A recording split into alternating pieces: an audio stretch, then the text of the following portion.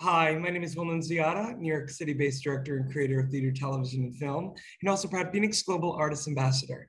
Today, I cannot wait to introduce you to, she, well, she's a Renaissance woman. She's an artist, she's an entrepreneur, and what an amazing human.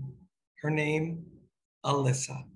For more on Alissa, you can read more about her right below this video, but in the meantime, here is a sneak peek at the incredible talent of Alissa.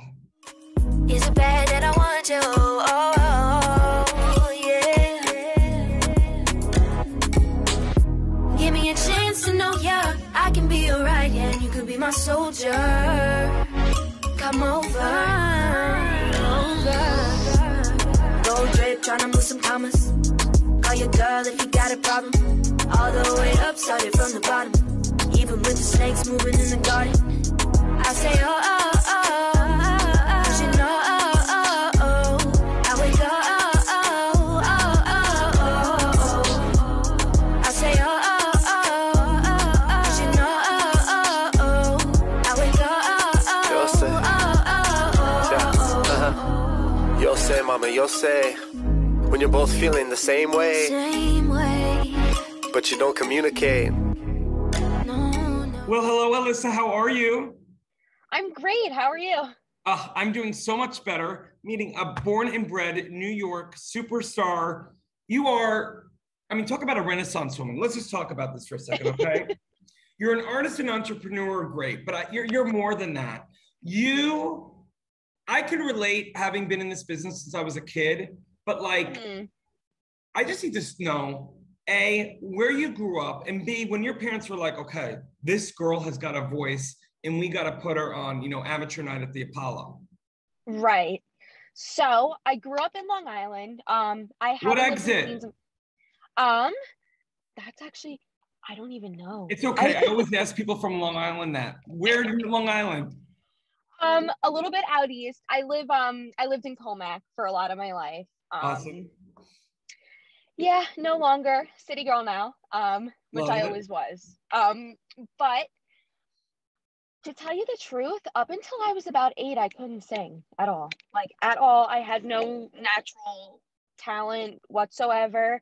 And then one day I was just singing in my room because I was a total diva. My parents had to announce me coming down the stairs. I I was Miss Beyonce was my first concert. Like I was, you know, totally, totally, totally into it.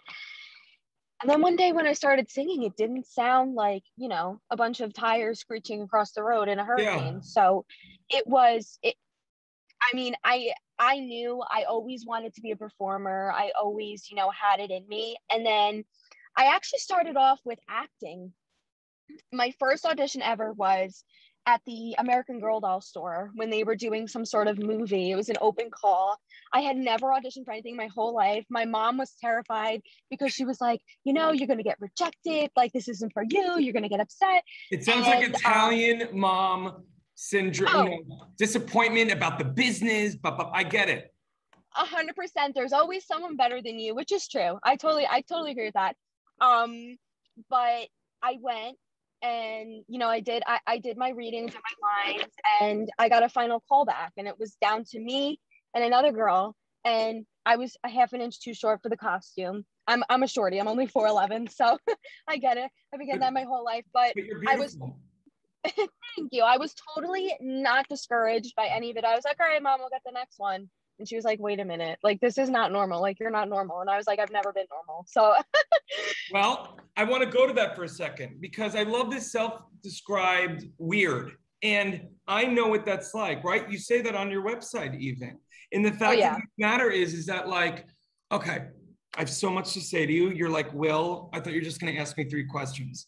No, so, no, no worries. I'm so moved by you, Alissa, because even as a little kid, you know, singing at in stadiums and winning, you know, the amateur night at the Apollo and all of these amazing experiences that you had as a kid.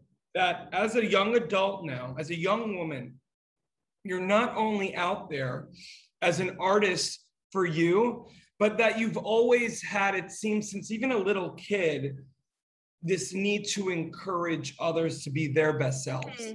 And from that, Alissa, my goodness, talk to me a little bit about this. I call this, you're like, I feel like you're like a badass boss lady. I feel like I just want to get you like a hashtag boss lady, like plaque for your desk.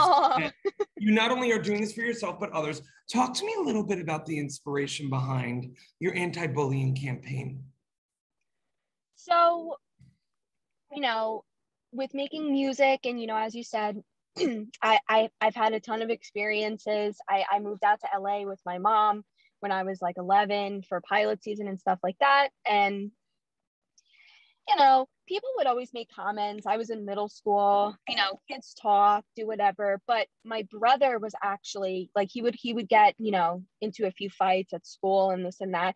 And it just discouraged me because the thing that people fail to understand sometimes is that you can speak any language, you can live in any country, but music is the universal language to anyone's heart, anyone's soul. You can move someone with your with your voice, with what you say, and the, the most incredible thing about music is that you can perceive it in any direction that relates to you which is why it's so important to me which is why you know the anti-bullying campaign was was a huge thing for me. Um, it actually got a citation from um, nassau county um, just for you know an act of good service and stuff like that. It was on music choice you know back in the day when that was a thing. Um, but yeah it's just so important to me to, to unite people in in a way that we can all understand and relate to. Oh, I mean, Alyssa, that's amazing. And it's exactly what these CEOs at FENIX, this new social media app for musicians and artists of all disciplines, that's their North Star. You know, really mm-hmm. celebrating that whether you're a singer, and uh, an artist, a painter, a sculptor, that there's a safe place for to connect with people all over the world. I'm sure you probably saw some of my YouTube videos of interviews. You know, I've interviewed people everywhere from, you know, from from Long Island to Grammy winners to Tony winners to mm-hmm. Singapore, Japan, China. But what what makes us all one community is this love of storytelling and this love right. of art and the fact that alissa you not are again are only not only creating you know these amazing opportunities for yourself but you're giving it away already like creating a safe space and i want to know um you know on a business front some of the mm-hmm. business mm-hmm. opportunities that you're kind of cultivating right now that you can maybe talk a little bit about yeah i mean um I may have some shows coming up. I do work with um, Trevor Penick, who's part of um, O Town. You know, super wow. old school boy band. I yes, um, you're speaking my language. I'm also um, releasing a freestyle song like along the lines of um, like a TKA vibe.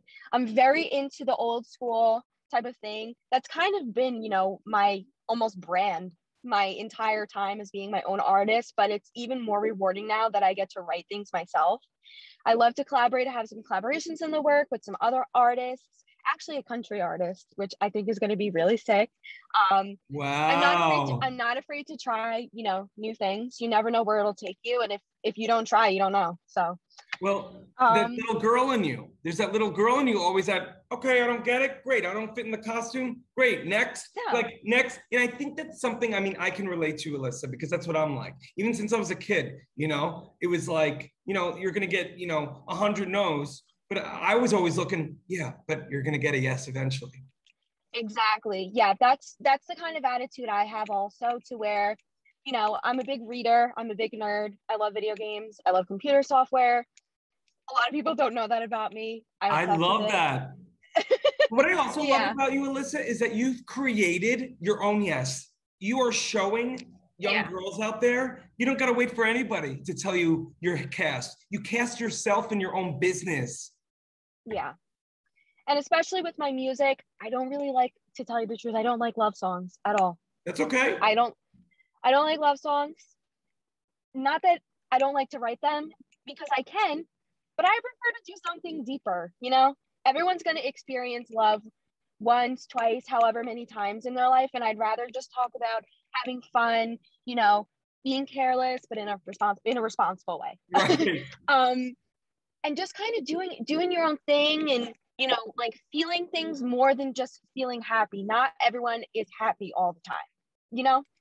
Um, and, well, we learned it at all during this time, right? I mean, hello. Oh yeah yeah my mom says all the time that the song like the sweet but psycho song reminds her of me and i'm like okay i mean it makes sense i mean i'm i'm like I'm happy for 98% of the time, but the 2% of the time is where I can write a pretty good song. And There it usually is. I write them.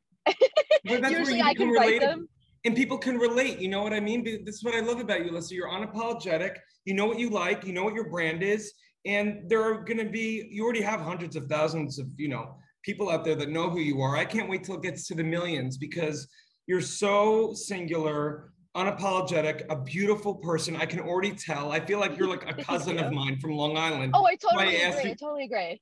um, and so I feel like, you know, whether you're Italian or not, like, I feel like that's the vibe you give off. Like you're everyone's sister, cousin, friend. And I'm sure you've gotten that before.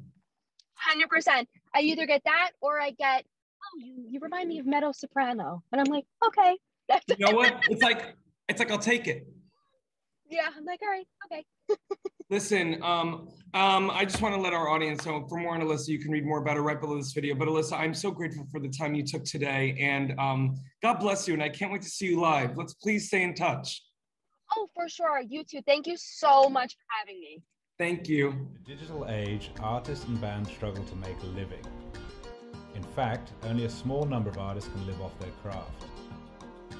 For the 98% of artists that don't have the luxury of being signed to a label, it's tough. But artists deserve to live off their art. Wherever you are around the world, appreciation of music does not change. FENIX brings bands and their fans together, whilst allowing bands to properly monetize their passion. The FENIX app will directly connect bands and fans with no need for middlemen. We're utilizing the blockchain to give the power back to the artist once and for all.